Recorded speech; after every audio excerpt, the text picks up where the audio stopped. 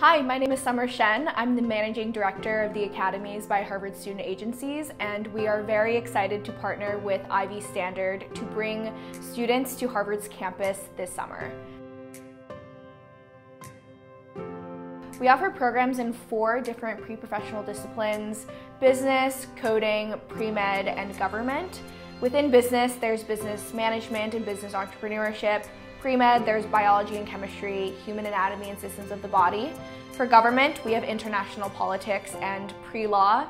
And lastly, for coding, we have introduction to Python and introduction to web development.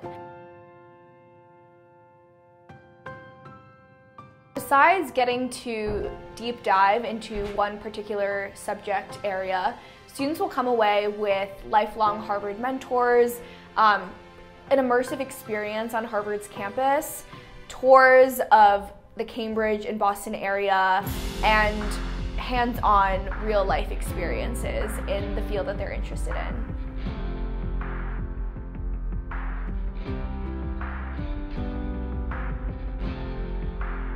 I think one thing that makes our programs great is the fact that it gives students a chance to get to know the people that actually go here and the students that live and work here every day.